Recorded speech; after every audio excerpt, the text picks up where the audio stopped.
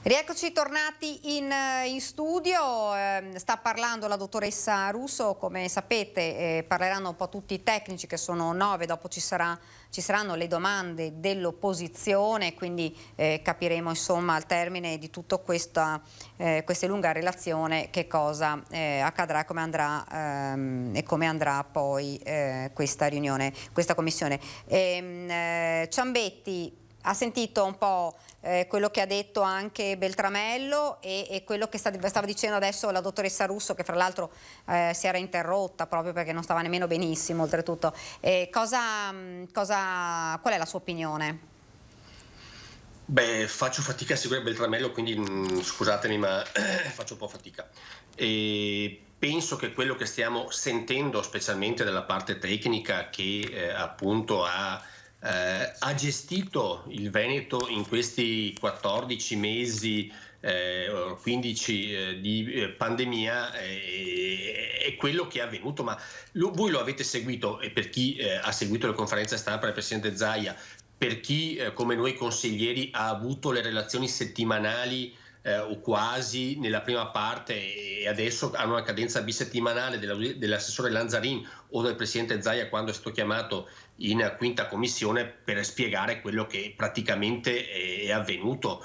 Eh, quindi eh, io penso che eh, tutta la struttura della sanità veneta, sia la parte, chiamiamola, eh, dirigenziale amministrativa, quella politica, ma veramente chi è stato in prima linea invece tutti questi mesi ha gestito la situazione nel miglior modo possibile e poi appunto saranno i numeri eventualmente a, a far capire il Veneto che risultati ha avuto nella eh, gestione eh, della, della, pandemia. Eh, c'è chi dice si, può, si poteva fare ben altro. Beh, il benaltrismo, specialmente quando si è in piena emergenza, è, una, è una, un utilizzo degli argomenti e anche delle situazioni eh, magari eh, poco, poco, eleganti per tentare di creare una cortina fumogena, di, di, eh, di, di paventare chissà cosa.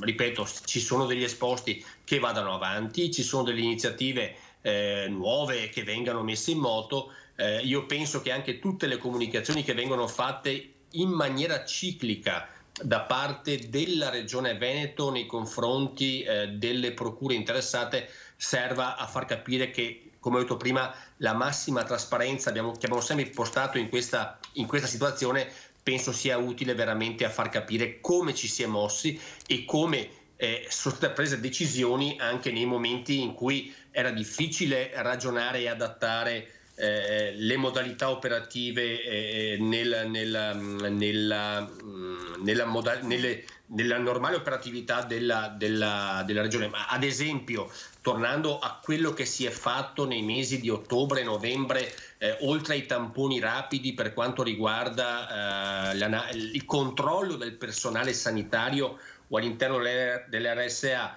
eh, misurazione della temperatura ad ogni inizio e fine eh, di, eh, di eh, turno di lavoro, chi aveva raffreddore veniva immediatamente tamponato per verificare se stesse bene o meno, quindi quello che si poteva fare dal mio punto di vista è stato fatto eh, forse in maniera anche più puntuale e precisa che in altre realtà territoriali italiane. Beltramello.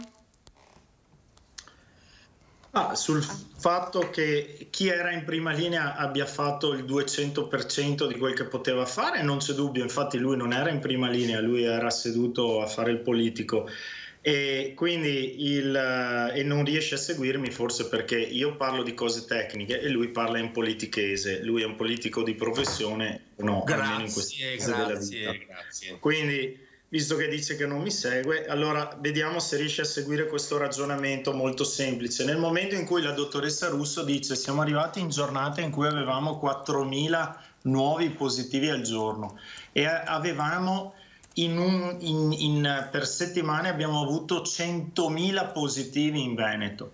Questi erano numeri da catastrofe e infatti poi le conseguenze si sono viste nell'eccesso di mortalità che abbiamo avuto purtroppo in quei mesi in, in Veneto.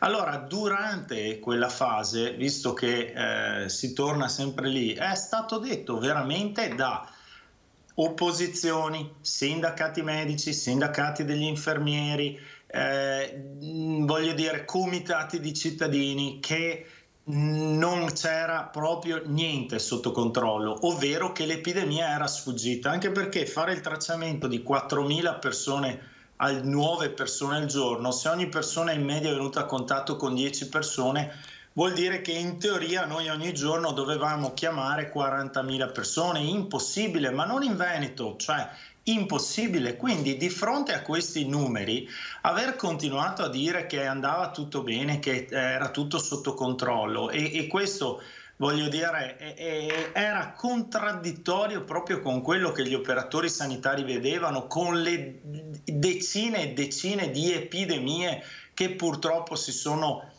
eh, sviluppate all'interno delle RSA con dei tassi di letalità vicini al 50% del totale degli infettati, alle volte anche superiori, cioè la metà degli infettati in alcune RSA si sono infettati tutti e la metà mm, sono morti. Di fronte a una catastrofe così, cioè non continui a dire è tutto sotto controllo, perché noi dicevamo, siccome non c'è niente sotto controllo, chiudi urgentemente, riduci le infezioni, fai sapere alla popolazione che siamo in una emergenza dentro l'emergenza, quindi a tutti chiedi un senso di responsabilità assoluto. Non continuare a dire il Veneto è il più bello del mondo e i Veneti siamo con il servizio sanitario migliore dell'universo, perché sarà anche vero, ma in quel momento lì non c'era sistema sanitario che potesse tenere un'onda d'urto di questo genere. È di questo che stiamo parlando e collegato a questo l'uso ripeto, esclusivo dei tamponi rapidi in quei contesti di, di RSA e personale sanitario e personale dell'RSA.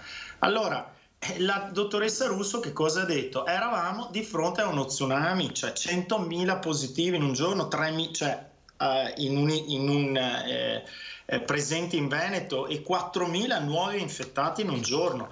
E quindi eh, di questo si sta parlando, non si sta mettendo in discussione l'operato degli operatori sanitari e mh, mm, voglio dire ringraziamoli dalla dal, mattina alla sera che non hanno mollato la barca in un momento in cui veramente hanno tirato fuori l'energia dell'energia dell'energia dell'energia residua perché era da un anno che tiravano come, come dei matti tiravamo metto dentro anche me voglio dire il, però non voglio essere egoico in questo io voglio dare un tributo a chi era proprio poi nelle terapie intensive nelle, nelle semi-intensive nei pronto soccorsi dove l'onda d'urto è, è, è stata clamorosa. Allora non è in discussione la bontà del nostro sistema sanitario, è in discussione se si potevano fare delle scelte che avrebbero impedito la saturazione del sistema, impedito di far lavorare il personale in questo modo, impedito di far morire così tante persone in generale e nelle RSA in particolare. Di questo si sta discutendo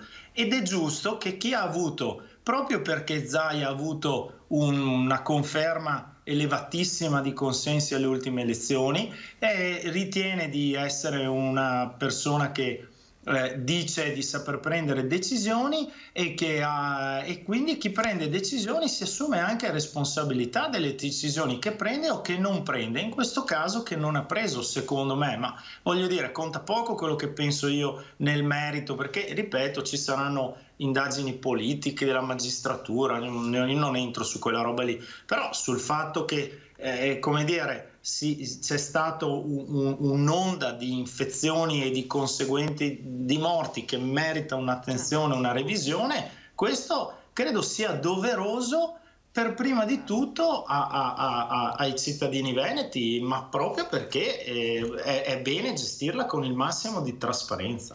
Di ecco. questo si sta parlando. Ecco, Ciambetti, secondo lei un'onda che si poteva evitare dunque?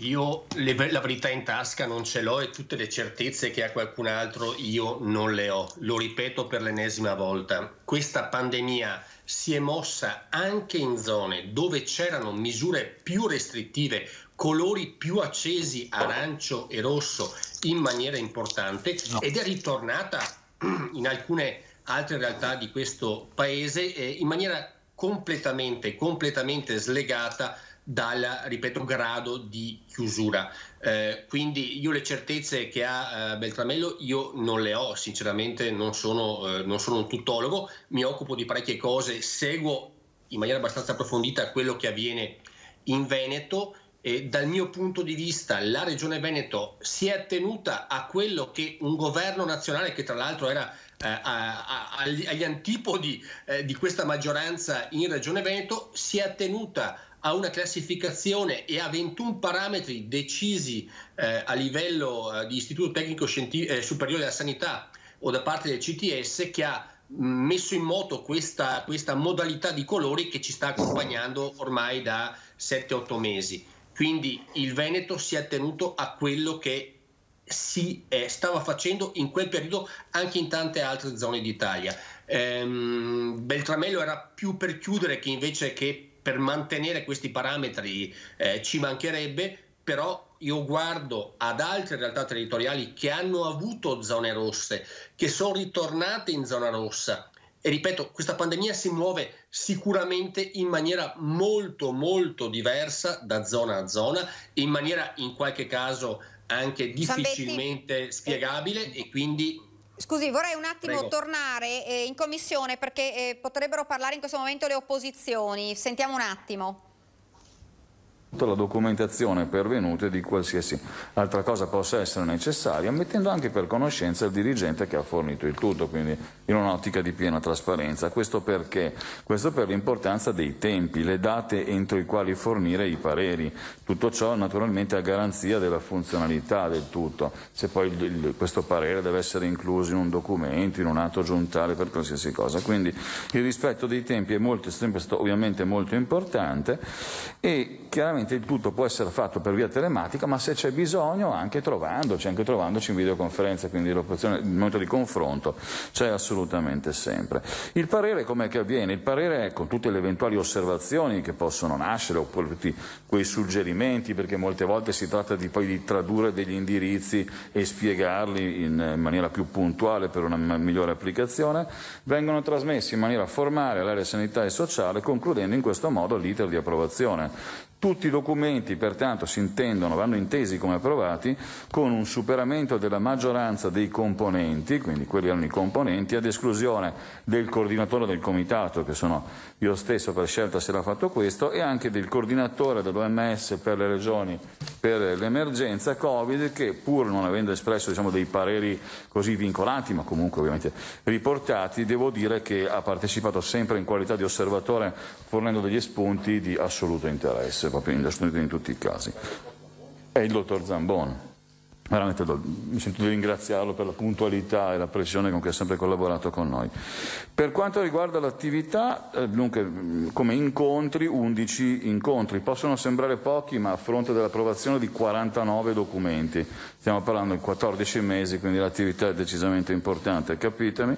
Nel corso di queste riunioni abbiamo affrontato una serie di argomenti, alcuni, ripeto, sono tradotti in eh, documenti operativi, altri incontri invece sono stati atti a valutare valutare per esempio i modelli previsionali, atti a valutare magari qual era la migliore strategia per, in, per l'implementazione, mi, mi, riferisco per esempio alla scelta dei setting assistenziali, l'implementazione, l'importanza del, di aver implementato e puntato in modo molto forte sul modello delle terapie semi-intensive, quindi tutte cose che sono state affrontate nel corso delle riunioni del, del comitato e sono poi tradotte anche in una serie di documenti come le flowchart, le famose flowchart del professor Navalesi per l'invio dei pazienti Covid, la scelta del setting assistenziale maggiormente corretto a mio avviso, e non solo a mio avviso, è una delle, delle cose vincenti in questo tipo di di gestione, poi anche un'altra attività sempre di supporto a altri documenti operativi, come per esempio gli indirizzi sulla sospensione delle attività chirurgiche, anche qui c'era un passaggio un passaggio formale per capire la cosa, anche per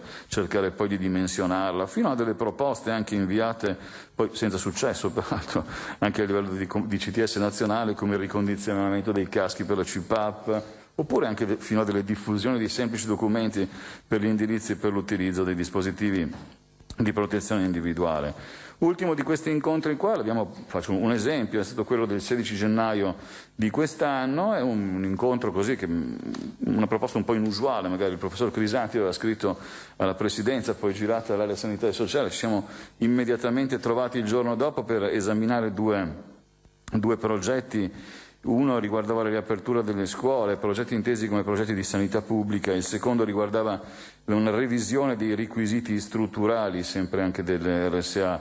Erano delle relazioni piuttosto, piuttosto sintetiche, per le quali del primo, vado a citare il verbale, il primo quindi sulla, sulla scuola si riconfigurava a nostro, nostro avviso come uno studio pilota e pertanto si rimandava l'acquisizione di un protocollo di studio e siamo tuttora in attesa del materiale per poterlo, poi, per poterlo poi giudicare, anche con un doveroso coinvolgimento peraltro della direzione formazione e di istruzione regionale, in quanto l'espressione di un loro parere per la fattibilità è fondamentale.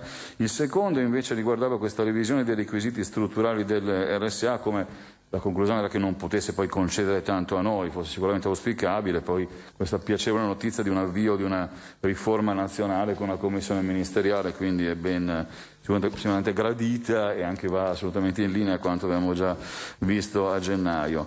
Documenti ne abbiamo approvati 49, quindi sono tantissimi, quasi tutti i provvedimenti, quindi, ma non solo i piani di, di, sanità pubblica, anche tante altre cose sono passate, anche le circolari, le riaperture, le chiusure, le sospensioni dei, dei test respiratori, tutte quelle cose lì si è sempre fatto un passaggio perché volevamo fare proprio questo questo passaggio, questo passaggio, tecnico. Per quanto riguarda gli incontri, quindi mi preme assolutamente ringraziare chi ha partecipato al 100% degli incontri, sono praticamente tutti, il professor Baldo, la dottoressa Catellan, il professor Dalt, Navalesi, il professor Vianello e la partecipazione del professor Crisanti è stata un po' minore, solamente 5, 5 presenze sulle, sulle 11 che ci sono state per quanto riguarda gli incontri ai quali ha partecipato, ha partecipato ai primi incontri, quindi no, ci tengo per quanto riguarda gli argomenti trattati, non peraltro non sta certo a me fare le paselle, ognuno, ognuno, sa, ognuno sa quando ha partecipato, ci mancherebbe altro. I primi tre, i primi tre risalivano al marzo del 2020, incontri nei quali non si è entrati in merito all'utilizzo dei test rapidi, poi ce n'è stato uno del 22 luglio, che però non si è del, sempre 2020, che non si è concretizzato con un parere, ma solo una partecipazione con peraltro l'aver fornito congiuntamente a altri quattro componenti un parere, poi riportato nel verbale e successivamente approvato. Mi avvio a concludere poi invece per quanto riguarda i documenti approvati, anche qua ripeto sono 49 documenti in 14 mesi, capite che lo sforzo è stato importante, mi metto da parte io come coordinatore, ma devo dire che per i colleghi non c'erano sabati e domeniche, arrivavano spesso il fine settimana, insomma, arrivavano sempre questi, questi pareri da, da, approvare e quindi c'è anche in questo caso qua chi ha raggiunto il 96-100% dei pareri forniti, quindi uno sforzo assolutamente importante, ripeto, articolato in 14 mesi, con documenti anche decisamente voluminosi. Mi preme anche qui dire, come ripeto, insomma, che il professor Crisanti, visto poi la, la, la corrispondenza che c'è stata tra il comitato scientifico e lui abbia fornito parere solamente tre volte su queste 49, l'ultima è del 10 aprile del 2020. Mi avvio poi a concludere per quanto riguarda la corrispondenza intercorsa, della quale insomma, ho visto che è riportata anche sulla stampa recentemente, ci sono stati in realtà due momenti, uno tra il 18 e il 20 luglio del 2020, dove veniva richiesto di esprimere attraverso i canali istituzionali le proprie considerazioni, ma il professore rispondeva peraltro cortesemente di non aver mai commentato atti del comitato, quindi non c'era assolutamente problema. Per quanto riguarda la seconda invece, quella che era sulla stampa recentemente, risale al primo marzo del 21, dove a seguito di una serie di, di articoli, uno in particolare che riguardava le varianti, le possibili l'utilizzo di test fallaci, il, um, io, noi avevamo chiesto di fornirci tutto, tutto, il materiale utile a condurre delle valutazioni in, med- in merito alla diagnostica laboratoristica, con qualcosa quindi di, di, di, fattivo, di proattivo per poter darci gli elementi per, per valutare. Il professore lì ha risposto, come peraltro riportato precisamente sulla sulla stampa come il Comitato ne sarebbe portato a, stato eh, portato a conoscenza esclusivamente a pubblicazione dell'articolo scientifico avvenuto, quindi senza condividere prima della pubblicazione dell'articolo alcunché con noi. Pertanto senza condividere assolutamente nulla in merito agli studi cui è stato fatto riferimento. Questa è l'attività del Comitato ed è tutta naturalmente verbalizzata e trasmessa all'area. Mi auguro di aver rispettato anche i tempi. Vi ringrazio per l'attenzione. Dunque quello che avete sentito era Mario Sajek del Comitato Tecnico Scientifico Veneto. Eh, abbiamo sentito le sue parole, Ciambetti, che cosa, che cosa ci dice? Beh, Saia da coordinatore del Comitato Tecnico Scientifico ha riportato l'attività che è appunto iniziata tra fine di febbraio e del 2020 quindi riportando eh, le cose penso più salienti che sono avvenute nel comitato tecnico scientifico. Eh, quello Veneto, ricordiamoci che il nostro comitato è stato spesso anche eh, utilizzato e preso come eh, diciamo, eh, interfaccia dal comitato eh, tecnico scientifico nazionale e mi permetto anche di dire è stato in qualche caso parecchi eh, è stato interlocutore con, con eh, anche eh, altre realtà sanitarie a livello europeo di altre regioni europee. Eh, in molti casi altre regioni europee attraverso le nostre università, quindi le aziende ospedaliere di di eh, Padova e Verona, ma anche attraverso il nostro comitato tecnico scientifico, eh, hanno avuto interlocuzioni per eh, scambio di buone pratiche e per capire magari ad esempio le terapie subintensive come le abbiamo utilizzate in Veneto. Faccio un caso rispetto a tante altre cose che invece appunto abbiamo fatto mm. come realtà regionale eh, in questo anno erotti di pandemia. Beltramello, Beltramello ce, l'abbiamo ancora? Sì, sì, sì, Eccomi qua. Sono... Ha, se, ha, sentito, sai, è stato abbastanza puntuale facendo l'escursus proprio di quello che è stato fatto dal comitato... Eh... Ah, mm, diciamo che se mh, si tenta di spostare il focus dell'attenzione su in generale come ha lavorato il comitato tecnico scientifico, in generale com'è il sistema sanitario del Veneto, in generale, cioè è chiaro che non, non, non serve a niente, eh, come dire, se, se dobbiamo eh, diluire, annacquare, fare un calderone generale, non, non, è importante investire tempo in questi passaggi.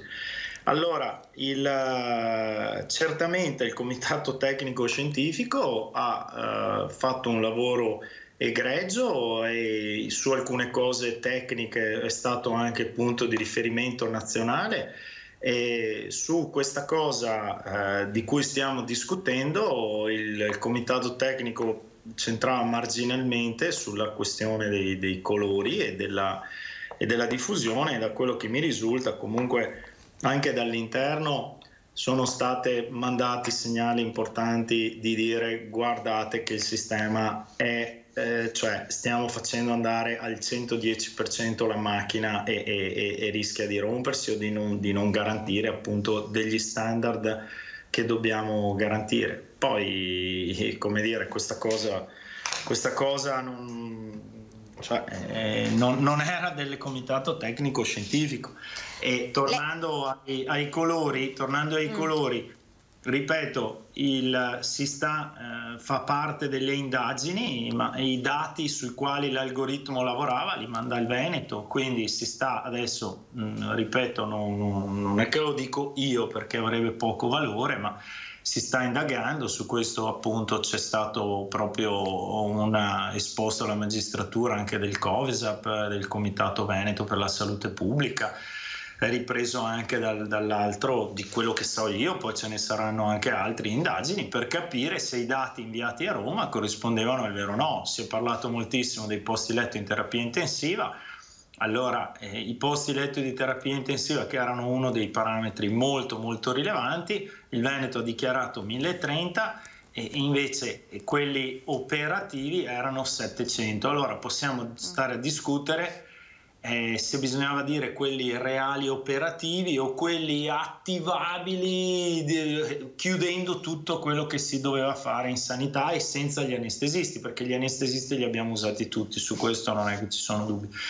E allora le altre regioni visto che anche il, eh, il presidente eh, Ciambetti eh, vuole fare i parametri con le regioni, tutte le altre regioni italiane eh, non hanno avuto dubbi, hanno messo i posti letto reali, attivati, quelli utilizzabili, non quelli ipotetici usando personale non specializzato per le terapie intensive. Quindi eh, su questo è ad esempio una cosa che il Veneto ha mandato giù. Non è che devo dare io il giudizio finale perché io non sono un tuttologo, infatti sto parlando solo di sanità e sono un medico igienista, ok? E, certo. il, il, e su questo però, eh, come dire, non è che si può dare la colpa sempre a Roma, eh, come, eh, e su questo mh, non c'è tema di smentita, i governatori non possono mai, i presidenti di regione, abbassare i colori, ma possono aumentare le restrizioni, tanto che Zaia l'ha anche fatto per quattro giorni prima di Natale. Certo. anticipando poi la decisione natalizia, quindi dimostrando che quello che io sto dicendo è vero. Ecco, mi, mi sembra insomma di capire che il punto centrale eh, per lei appunto è questo. Una cosa volevo chiedere, mi scusi Beltramello, mi, pare, mi pareva di capire prima, lei diceva insomma, eh, eh secondo lei questa carrellata di tecnici eh, sposta il, quello che sarebbe il, il punto focale della discussione? Eh, mi sembra che si stia allargando un po' troppo il panorama, quindi forse eh, metodologicamente, forse al di là di una doverosa breve introduzione del Presidente, poi forse le domande specifiche a cui magari si sceglieva di far rispondere questo o quell'altro tecnico, forse così si andava un po' più dritti al punto. Però mh, immagino che sia stata voluta questa cosa, quindi evidentemente va bene così a chi ha deciso che, che dovesse essere organizzata così e non credo che l'abbiano deciso i, i, i, miei colleghi consiglieri di opposizione, colleghi insomma, di, di, io non sono in consiglio regionale, ma insomma i miei colleghi di partito che sono i consiglieri regionali di opposizione. Quindi a, a domanda puntuale poi si fa rispondere il tecnico, però certo. non, è che, non è che sono a processo a parte che, ripeto, non è un processo, si tratta di un'analisi doverosa che nei paesi democratici vengono sempre fatte a livello nazionale e locale, quando c'è un qualche cosa di drammatico che è avvenuto in, in quella parte di società, un'intera nazione. Quindi, certo. eh, la, però in questo caso, eh, avendo dato la parola a 11 tecnici, poi si perde un po', cioè quando viene detto un po' tutto dall'inizio alla fine si perde il focus, ecco. a mio parere. C'è un altro tecnico che è il dottor Paolo Rosi. Sentiamo un breve intervento, poi volevo un attimo la replica di, di Ciambetti su questa questione proprio dei tecnici. Sentiamo un attimo l'intervento di Paolo Rosi. Metriche per infondrirli, quindi deve avere un monitor che si chiama multiparametrico che registra tutti i parametri di vita del paziente questo è il singolo letto. Il letto va inserito in un contesto dove sono disponibili anche altre prestature diciamo, di sala. Riguardano ad esempio l'ecografo, riguardano la centralina di monitoraggio per seguire tutti i pazienti, riguardano l'emogassanizzatore, ma in alcuni casi anche l'installazione di un ATAC al servizio della, della sala intensiva laddove quella centralizzata era troppo distante per poter garantire l'assistenza ai pazienti. Esistono poi delle caratteristiche dei locali che devono essere garantite, quindi a, al di là della climatizzazione e degli adeguati ricambi d'aria ci deve essere una fornitura di ossigeno adeguata all'alto consumo, perché se le tubazioni non sono adeguate le tubazioni ghiacciano e quindi non si possono assumere, eh, assistere i pazienti, ci deve essere l'aria compressa, ci deve essere il vuoto. Ora, noi di letti con queste caratteristiche ne abbiamo mille. Questi letti ovviamente non sono attivi sempre, perché sarebbe piuttosto ridicolo tenere medici e infermieri a guardare dei letti vuoti. Quindi il sistema che abbiamo messo in piedi prevede l'attivazione progressiva di questi letti disponibili. Come viene fatta questa? Viene fatta in base a un piano e sulla base del monitoraggio in tempo reale dell'occupazione di posti letto. Noi abbiamo avviato già da febbraio dello scorso anno un sistema di monitoraggio in cui sappiamo in tempo reale ogni singolo letto di terapia intensiva se è occupato, se è libero, se è destinato a un paziente ordinario o se è destinato a un paziente Covid. In questo modo, sia grazie alle provvidenzioni sia grazie all'osservazione dell'andamento, riusciamo a capire quando è necessario attivare ulteriori letti. Come si attivano questi ulteriori letti? Ovviamente reclutando il personale, perché man mano che l'epidemia cresce vanno chiuse delle attività non essenziali, il personale dedicato a questa attività viene trasferito a gestire terapie intensive. Quindi ogni singola ULS, tramite il coordinamento regionale emergenza-urgenza, riceve l'input di procedere ad attivare ulteriori letti. Questi letti hanno dei tempi di attivazione differenziati, ci sono i cosiddetti letti CREU, che sono letti d'emergenza sempre pronti, attivabili in pochissime ore. Se voi oggi andate all'ospedale di Jesolo troverete due stanze con dei letti pronti, con i ventilatori, eh, però sono chiuse a chiave perché sono, noi le chiamiamo in stand-by, e fanno parte di questi 191 letti di emergenza che oggi usiamo per il Covid ma che in futuro potranno essere utilizzati anche per altri scenari incidentali come un incidente ferroviario piuttosto che comunque un'esigenza di dover far fronte a un numero elevato di pazienti critici in breve tempo.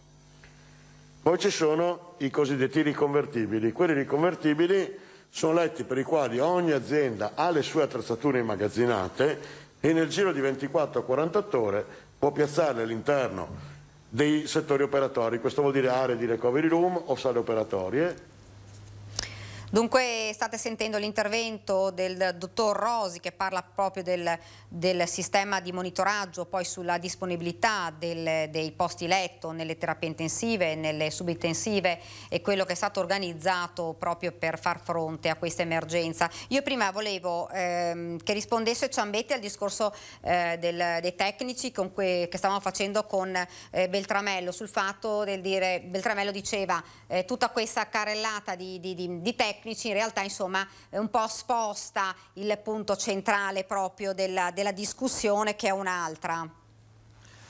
Eh, mi permetto di dire che quello che ho visto da lunedì scorso in poi, specialmente in ambito, in ambito eh, regionale, specialmente in Consiglio regionale, con degli interventi che sono stati registrati, che sono in verbali da parte di esponenti dell'opposizione, eh, chiedevano una verifica a 360 gradi dell'emergenza eh, eh, pandemica in Veneto.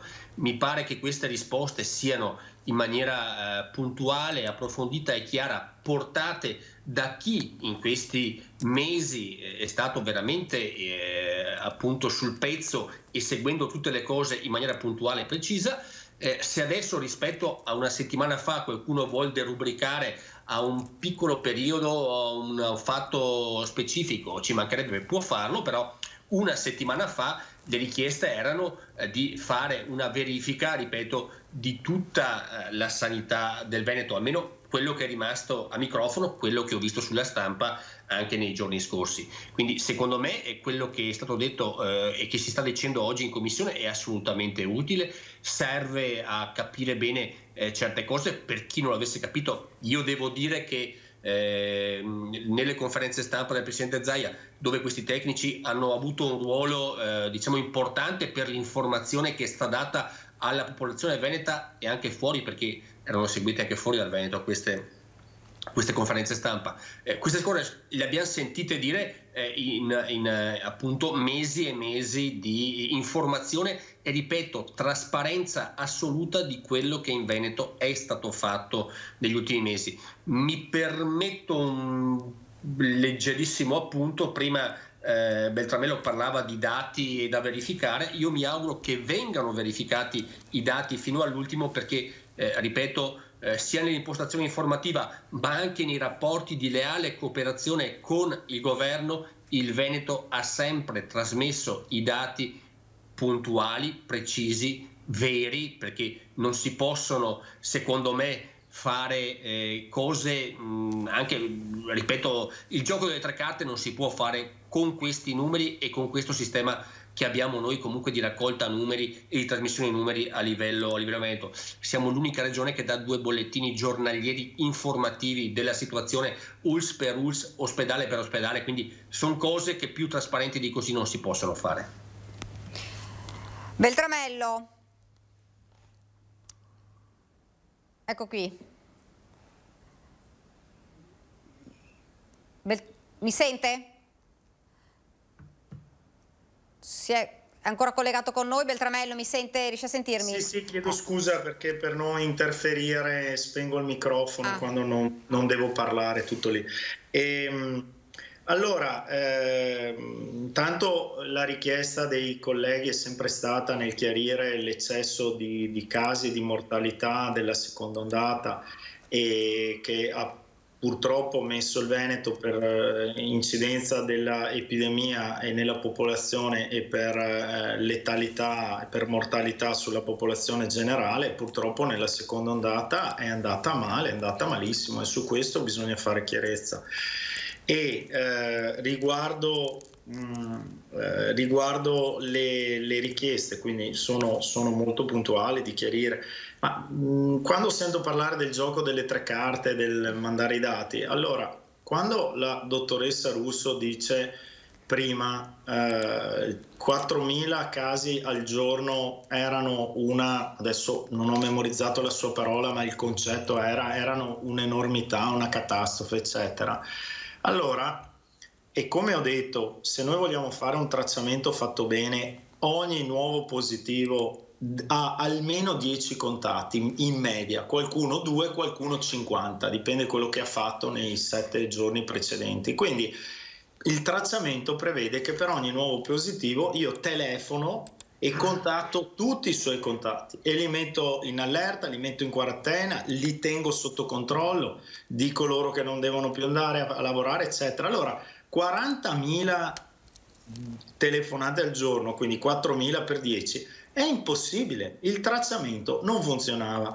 Allora, e anche su questo un sacco di persone, anche questo si può verificare dagli amici, i parenti che si sono infettati nella seconda ondata, ehm, la maggior parte ti dicono purtroppo non mi ha chiamato nessuno. Ripeto, non è che si fa una colpa, ma se ci sono, adesso dico 10 persone, non possono fare il lavoro per 100, fanno il lavoro per 20 magari, ma non per 100. E questo è accaduto anche nel tracciamento. Allora, questo verrà chiarito, ripeto, però dal punto di vista epidemiologico stride che anche in quel periodo lì i nostri dati sul tracciamento erano i migliori d'Italia, perché il tracciamento dovrebbe ridurre l'epidemia, l'epidemia continuava a crescere, quindi o l'una o l'altra cosa, però bis- bisogna andare lì, quindi sul, il dottor Rosi, peraltro voglio dire, è, è una persona che, che, conosco da tanti anni, per cui voglio dire, però lui tecnicamente dice posti letto in terapia intensiva con determinate caratteristiche tecniche, il Veneto ne ha mille. E di attivi reali ne abbiamo 700, poi è stato interrotto, dice siamo pronti a reclutare come dire, a reclutare il personale ad attività non essenziali per eh, a, a aprire quelli che mancano. Però Mm, adesso non so se lo dirà esplicitamente, mm. ma se no, eh, comunque su questo mi assumo la responsabilità e semmai di essere smentito successivamente.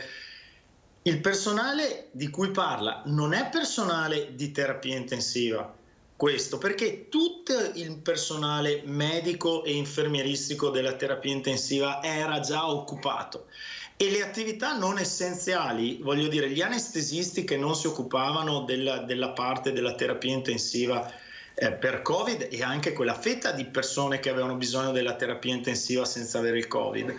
Eh, eh, facevano gli interventi chirurgici di urgenza, di emergenza, quindi non è che avanzavano anestesisti che erano lì a non fare niente. Quindi l'eventuale attivazione di questi posti letto extra di terapia intensiva avevano dal punto di vista tecnico certamente erano posti letto di terapia intensiva, ma il personale, come dire, al limite si diceva ok, viene un anestesista e lo facciamo aiutare da tre medici non anestesisti, ma come dire, per carità, in uno scenario post-nucleare possiamo immaginare una cosa del genere, ma in uno scenario dove vorresti che se uno va in terapia intensiva sia una vera terapia intensiva gestita da un medico anestesista, da un infermiere, per formare un infermiere di anestesia, per essere un bravo infermiere di anestesia ci vogliono tre anni e, e quindi quella è l'assistenza di terapia intensiva a 360 gradi. Nel momento in cui tu saturi il sistema è questo che stride allora, perché saturi il sistema? Troppi infettati. Perché troppi infettati? Perché la malattia fuori sta circolando. Perché sta circolando?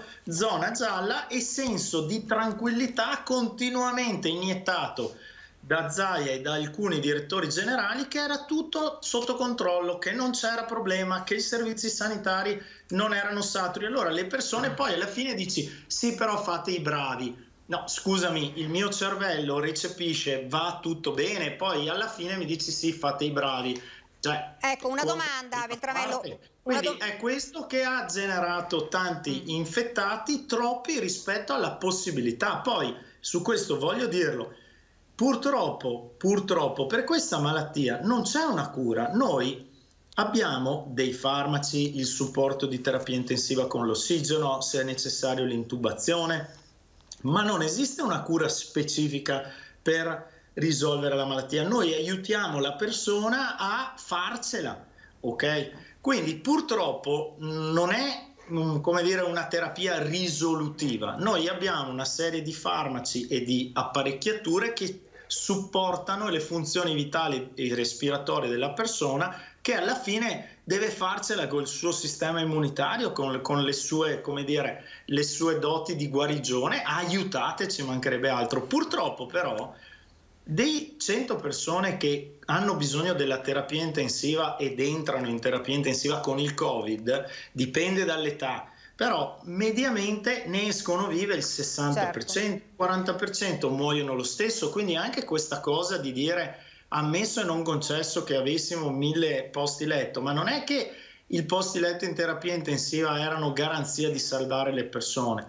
E poi così a cascata per tutte le, le cose, cioè non aver delegato, come dire, troppo al servizio sanitario si è fatto credere alla popolazione che poi dentro c'era la bacchetta magica, che tanto anche se ti ammalavi venivi curato. Sì, Mm, voglio dire, il, il, tentativo c'è, ma anche se ti curo al meglio e purtroppo quando c'è la saturazione sappiamo che questo diventa molto più difficile e in qualsiasi contesto, non solo in sanità, eh, se tu lavori, ripeto, al 110%, il, il, problema è che anche se vieni curato al meglio non è che ti è garantito di guarire, purtroppo. Quindi questa è una malattia grave, quindi bisogna adesso diamo dei messaggi per il futuro. Ecco. Vaccino, vaccino, vaccino e ancora attenzione perché questo weekend, al di là del, del, del, della roba calcistica, abbiamo visto, credo tutti quanti, una certa voglia di libertà che è comprensibile,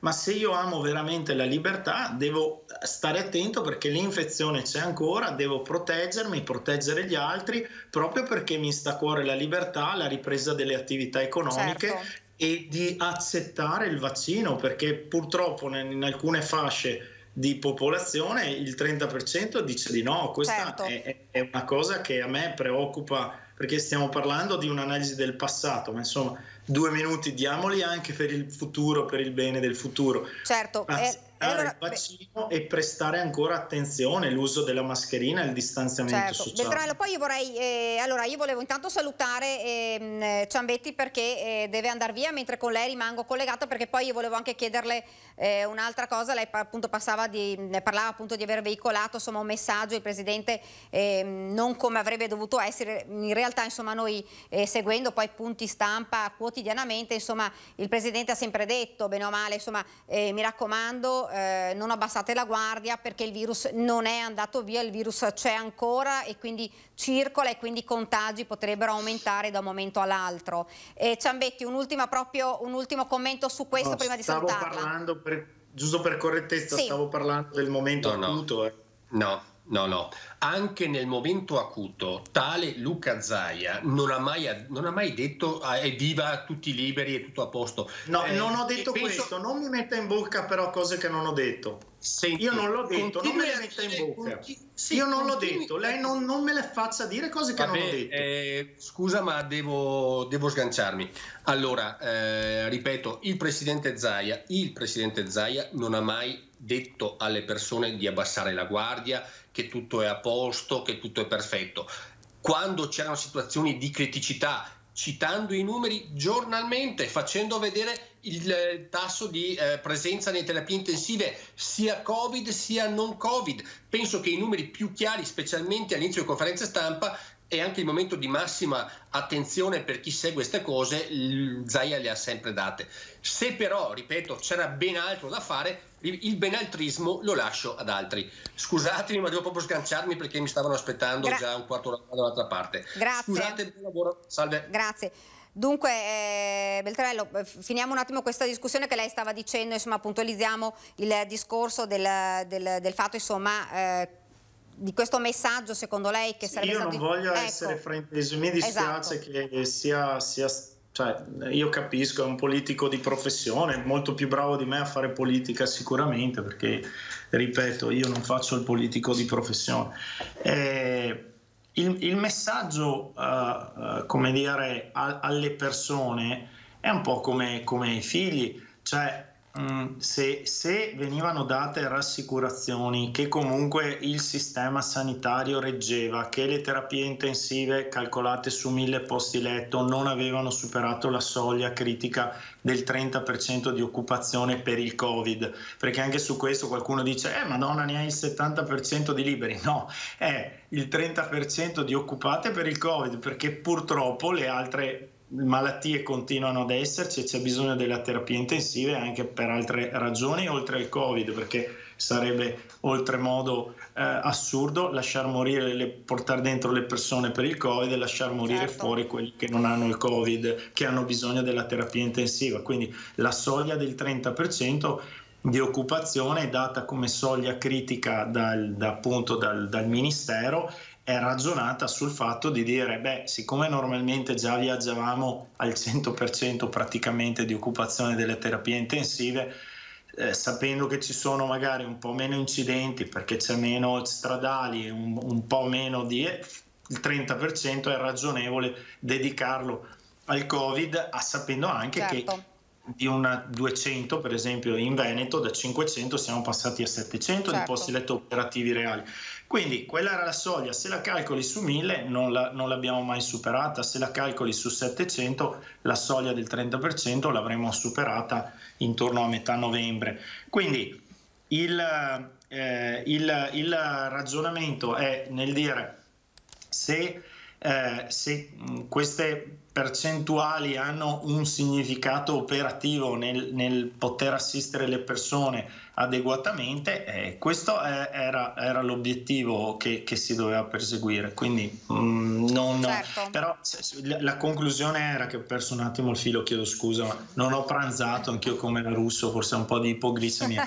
il, il, il, ehm, il, presidente Zaia dava sicuramente rassicurazioni, non, non, ha mai detto, per cui non fatemelo dire, non ha mai detto liberi tutti, non ha mai detto andate fuori a... E, a e mi scusi Beltramello, sta parlando, mi scusi le interrompo proprio solo un attimo perché sta parlando il presidente Zaia, sentiamo un attimo quello che dice. Perfetto, sociale hanno fatto questo, esattamente, niente di più. Ho concluso.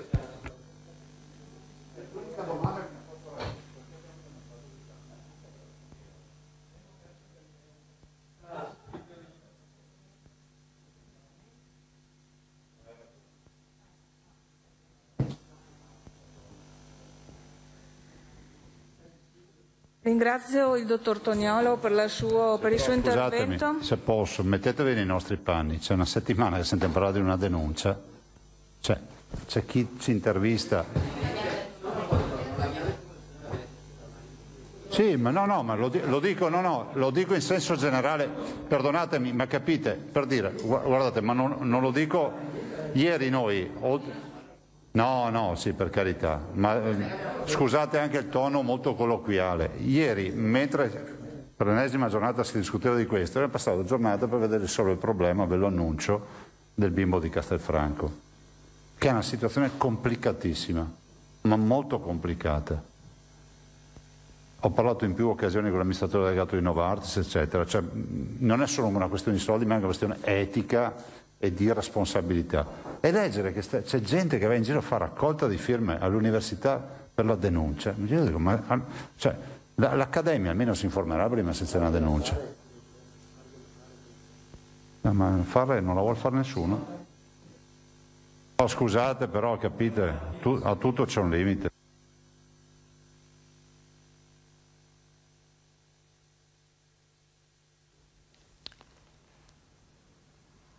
limite.。Scusate se possiamo riprendere sì. un attimo l'ordine. No, no, no. Ecco, eh, no, no. Vogliamo un attimo riprendere.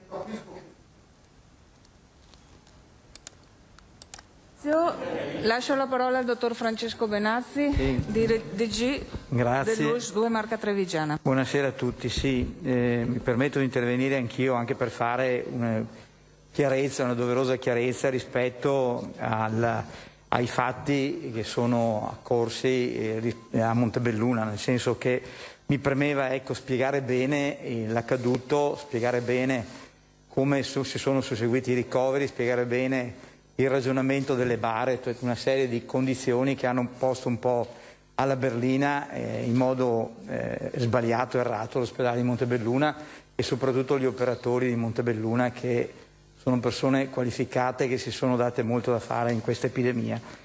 Come voi ricordate, eh, nella prima ondata l'ospedale di Castelfranco eh, aveva ospitato 50 posti letto di pazienti Covid.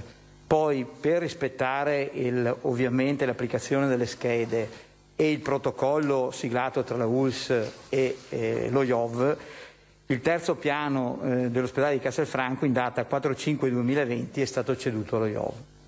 Arriva la seconda ondata, chiaramente, una seconda ondata che eh, per l'area dell'Asolano, come tutti voi sapete, è stata molto eh, impegnativa Prova ne sia che l'incidenza dei casi per 100.000 abitanti in quel periodo che va da novembre a dicembre è stata di 616 contro una media dell'US di 439 ogni 100.000 abitanti. Quindi eh, abbiamo avuto effettivamente ecco, un aumento di casi legato, si, poi si è visto anche alla variante inglese. E quindi si decise, il direttore sanitario dell'US decise dopo essersi parlato anche con i vertici dello IOV, di sostanzialmente indirizzare l'ospedale di Montebelluna per i, i casi Covid e, e lasciare indenne, quindi Covid-free, lo IOV in particolare per tutelare i pazienti che andavano allo IOV, lasciarlo ovviamente libero da Covid.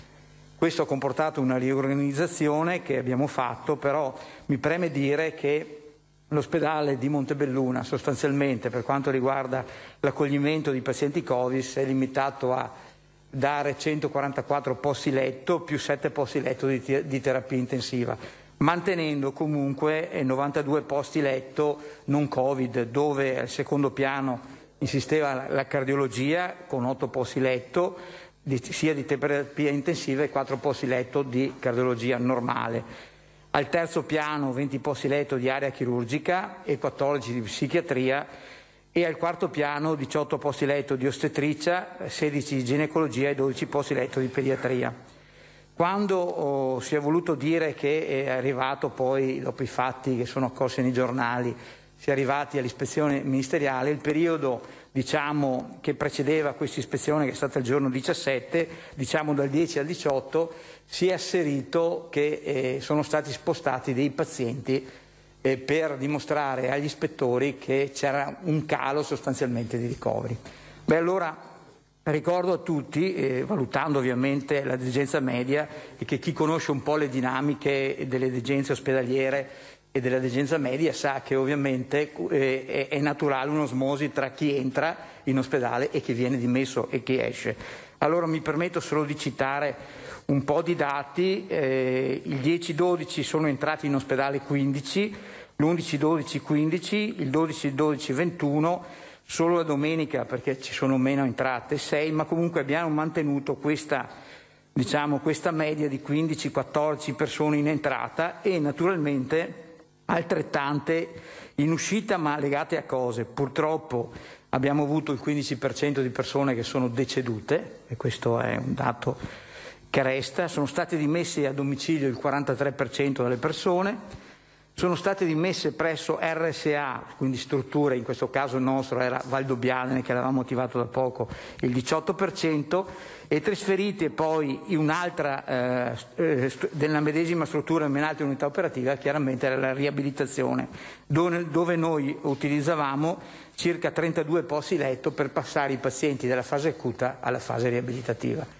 Quindi quando sono arrivati gli ispettori hanno trovato quello che si doveva trovare, abbiamo sempre accolto pazienti acuti al pronto soccorso, non abbiamo mai ovviamente dirottato pazienti acuti in altre sedi, ma solo per dimissione pazienti che ovviamente erano già stabilizzati, che erano in fase riabilitativa.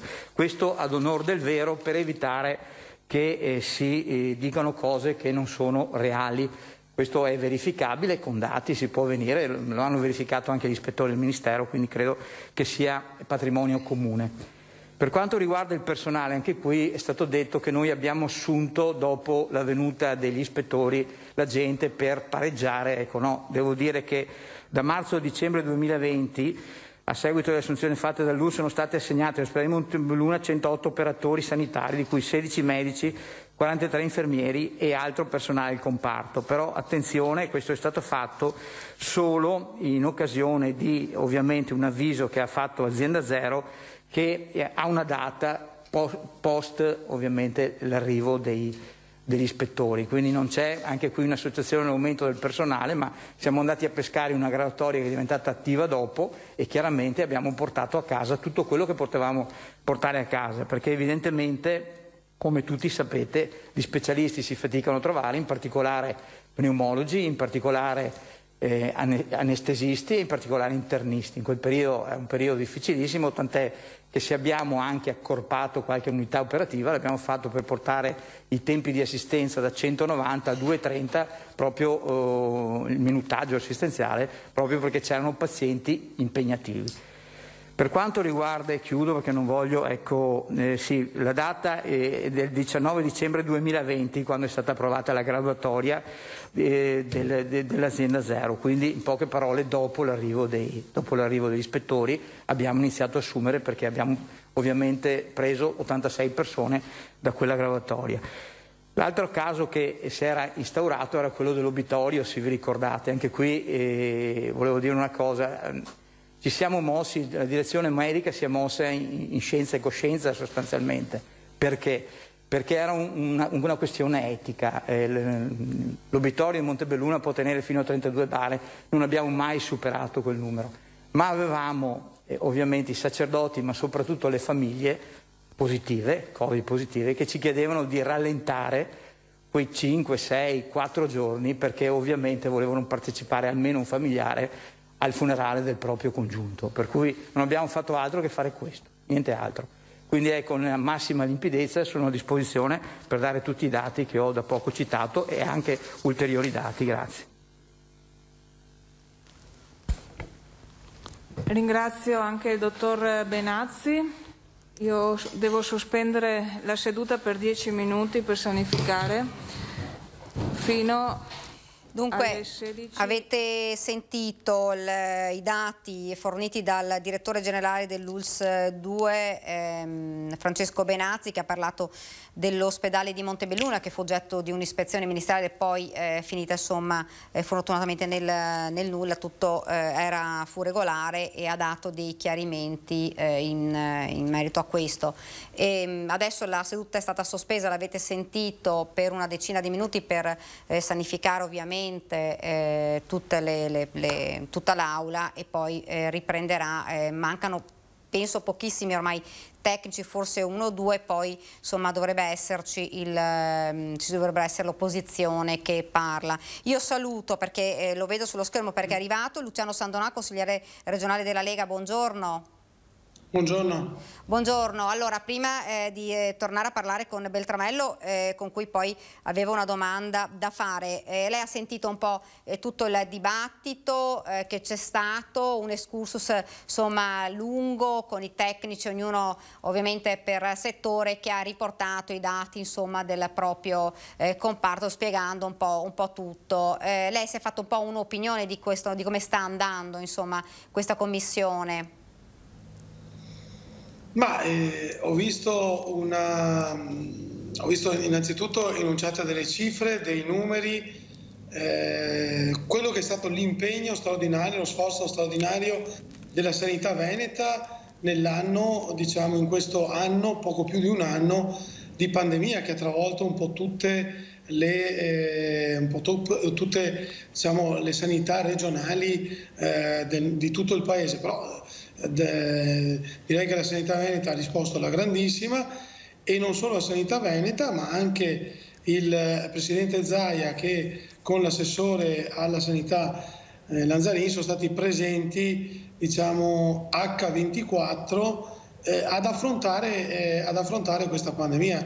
Quindi io direi che oggi le risposte o comunque eh, così tutta l'analisi che si sta facendo dello sforzo, del grandissimo sforzo organizzativo, tecnico, medico eh, messo in campo eh, dai nostri grandi specialisti, dalle nostre grandi, diciamo, da, da, dai grandi medici e dai, da coloro che eh, hanno in mano la sanità nel Veneto è stato notevole e eh, è stato eh, riportato in commissione eh, direi con molta chiarezza e molta esaustività. Ecco, eh, Beltramello dovrebbe essere collegato ancora con noi. Sì, sì. Eccomi qua. Dunque ha sentito, adesso sì. c'è stato anche la, insomma, il chiarimento da parte del, del, del dottor Venazzi dell'ULS 2 e insomma... Sì, in merito, se posso dire, sì. allora intanto concludo quindi sì. il, il, problema mh, riguardo alle rassicurazioni che dava Zaia e anche alcuni direttori generali era che il sistema era in equilibrio, che non c'era saturazione, che non c'erano problemi fuori dall'ordinario non gestibili. In realtà eravamo totalmente fuori dall'ordinario, totalmente fuori dal gestibile, dal normale.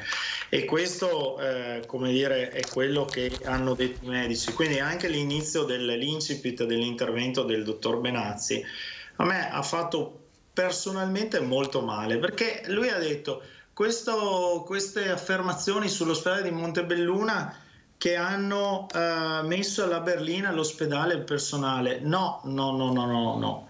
Questo no, non mi va bene perché in realtà eh, tutto quello che è accaduto uh, riguardo l'ospedale di Montebelluna è partito perché il personale della pneumologia, il personale della medicina interna ha scritto una lettera a lui dicendo non ce la facciamo più. L'ho riassunta abbastanza brevemente, le assicuro che il senso era questo. E siccome dicevano non ce la facciamo più, siamo troppo pochi, c'erano quattro pneumologi, posso sbagliarmi di una unità e otto intensivisti per i numeri che ha dato lo stesso dottor Benazzi. Loro hanno detto il carico di malati che ci arriva è insostenibile, non ce la facciamo più abbiamo bisogno di, di, di, di aiuto, di modificare. E a fronte della in as, di, della, del fatto che non sono stati ascoltati con questa lettera, che allora c'è stato diciamo, il, il, il, il, caso Montebelluna nel dire eh, guardate che qui le cose non vanno bene e da lì poi c'è stata la, la, la visita del Ministero, ma l'incipit è stato proprio perché il personale non ce la faceva più e ha avuto il coraggio di dirlo.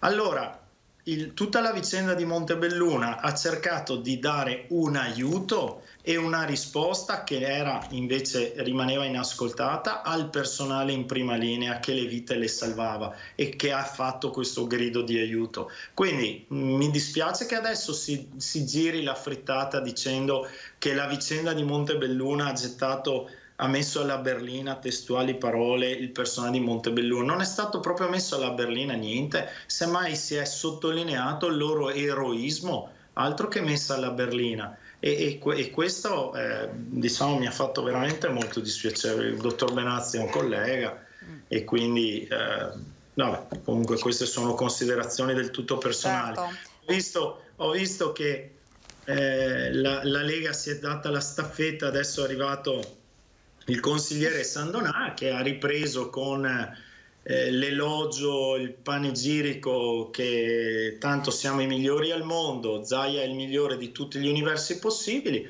che altro c'è da aggiungere? Io dico solo che eh, in una democrazia vera, tanto più è forte il leader, tanto più si confronta con le minoranze in modo trasparente e aperto. Quindi voglio dire, se, mm, mi spiace dirlo, consigliere Sandona Mazzaia non ha bisogno che lei lo elogi, eccetera, perché in, in, se veramente siamo in una democrazia in questo Veneto, non siamo già passati in una dittatura, è normale che di fronte ad un evento drammatico, catastrofico per la popolazione, ci sia un confronto tra minoranze e chi il potere ce l'ha. Questo avviene in Germania, avviene in Inghilterra, avviene in Italia e per fortuna avviene anche in Veneto. E quindi la risposta non è dire tanto mh, mm, noi siamo i migliori dell'universo, comunque vadano le cose perché eh, il, a, a, parte che lo pensa lei io non condivido, ma anche se fosse vero,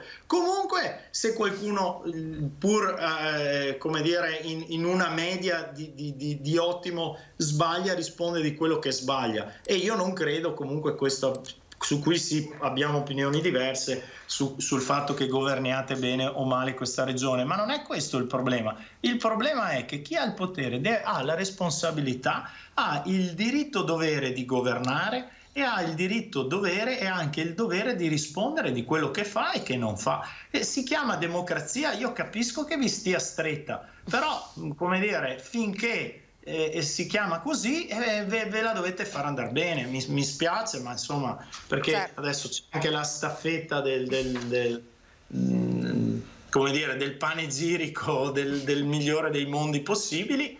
Va bene. Allora, io dico che nelle società civili e democratiche il certo. confronto certo. di fronte a eventi posso, drammatici è doveroso e garantito posso, ai cittadini, mica a noi delle opposizioni, sa, per sì, quel sì. che contiamo. Ovviamente, eh, ovviamente adesso insomma, la, la, la faccio, rispondere, faccio, rispondere, da, da, da Sandonà perché sentivo che eh, stava cercando eh, di... È un po' stuzzicato evidentemente.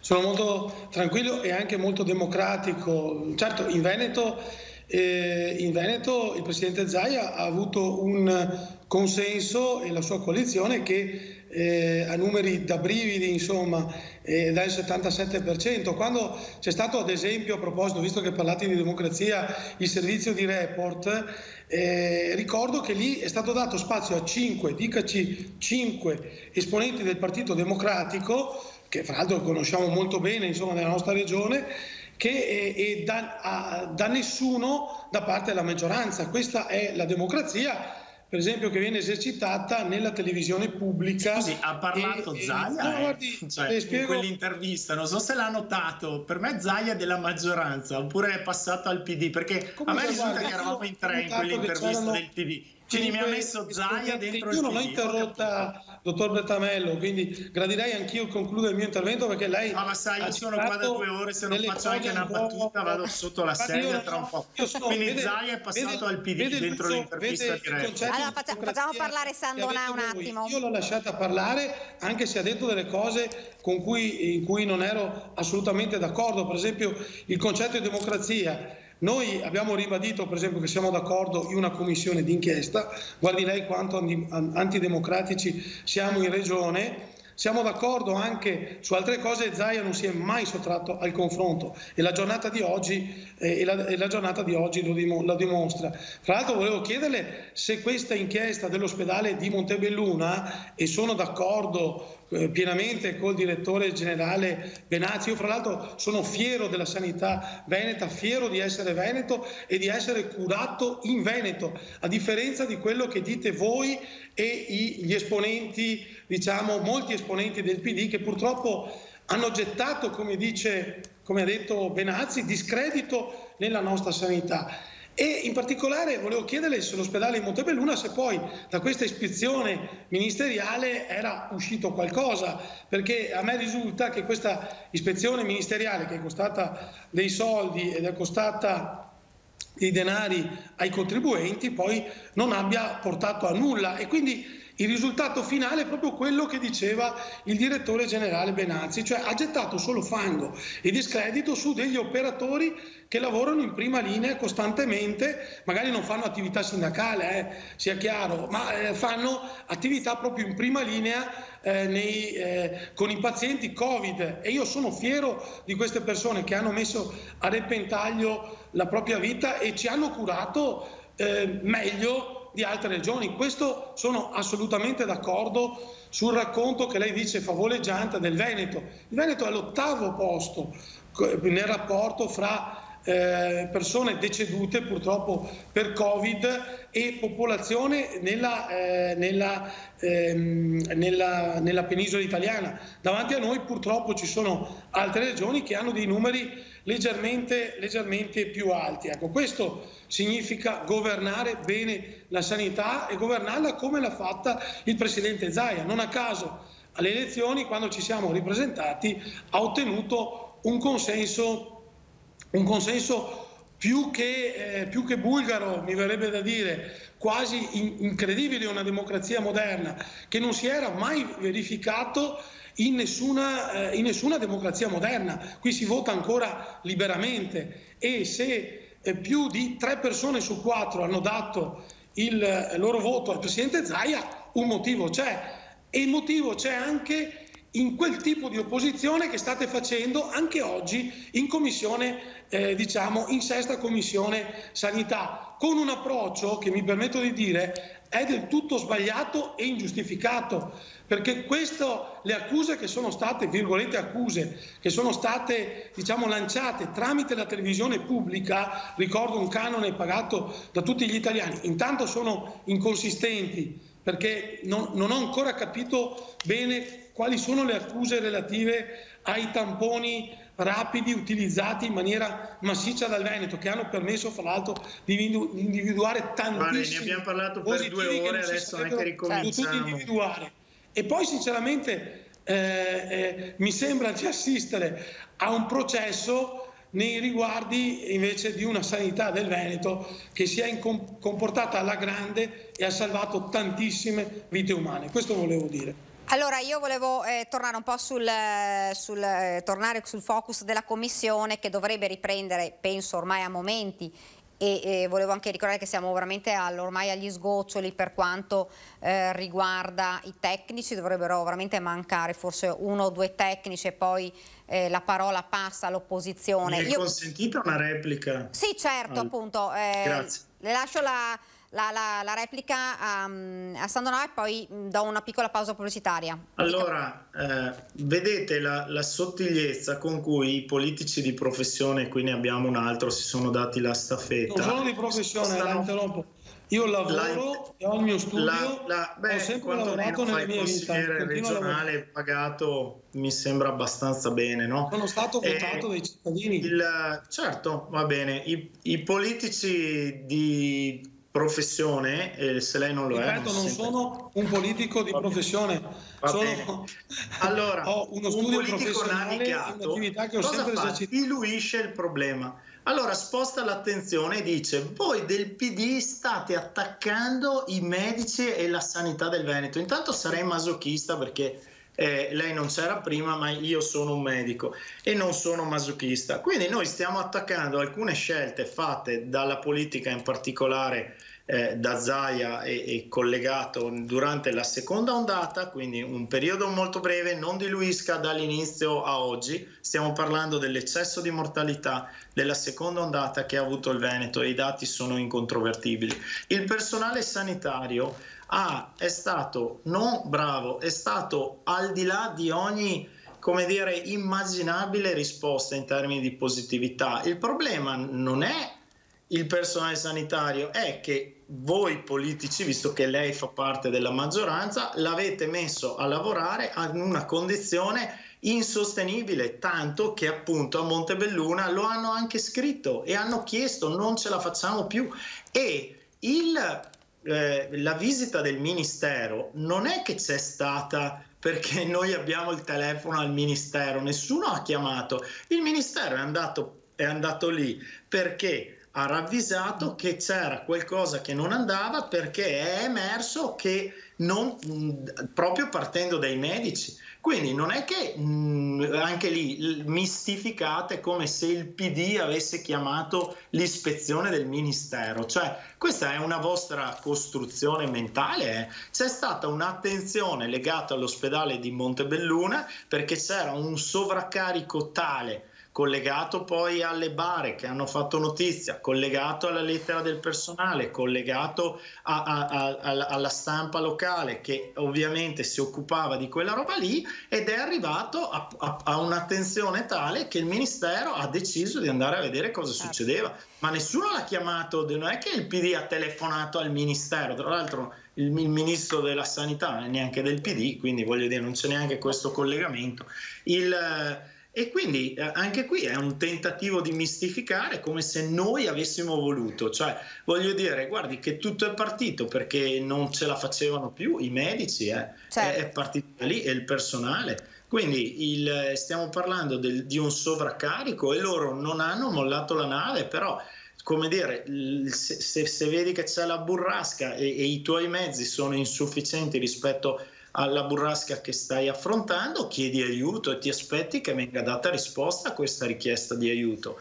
Questo è successo a Montebelluna, poi certo. voi potete girarla eh, come dire, come girate tutto e, e mh, dico anch'io una bella cosa. Io sono veneto, sono nato in Veneto, ho studiato medicina in Veneto, mi sono specializzato in Veneto, ho lavorato all'estero sette anni, poi sono tornato in Veneto parlo quattro lingue, ho allargato un po' i miei orizzonti, ma sono rimasto veneto. Amo il Veneto, i miei figli sono veneti, la mia compagna è veneta e voglio che questo Veneto sia migliore per i miei figli. Quindi questa narrazione che il Veneto sta a cuore solo a voi, ma così come ai miei figli se sbagliano qualcosa, io non dico tu sei sempre necessariamente il miglior figlio del mondo, ma credo che sia educativo e pedagogico per ogni essere umano e anche per una società che se si sbaglia qualcosa si analizzi cosa sia sbagliato per evitare di sbagliare nuovamente in futuro. Allora, se invece il suo atteggiamento pedagogico è quello di dire che comunque qualsiasi cosa venga fatta si è sempre migliori dell'universo, io non condivido questo atteggiamento. Come padre, come persona, come medico, come politico, come tutto, perché anche la migliore persona se fa un errore deve fermarsi, analizzare quell'errore, capire perché è stato fatto ed evitare di ripeterlo in futuro. E dire sempre che invece siamo i migliori, che non ci sono universi sufficienti per dire quanto è bravo e sempre il migliore dell'universo Zaia, questa roba qui non fa bene soprattutto a voi, non fa bene soprattutto al 70% delle persone che vi hanno dato la fiducia. Allora, io mi devo va, fermarvi un... mantenuta. Ecco, io devo fermarvi un attimo perché c'è una piccola pausa pubblicitaria, poi torniamo in studio e faccio anche eh, parlare eh, Sandona. Quindi pubblicità un attimo, poi torniamo in studio anche perché ricomincia fra poco anche la riunione in commissione. Thank you.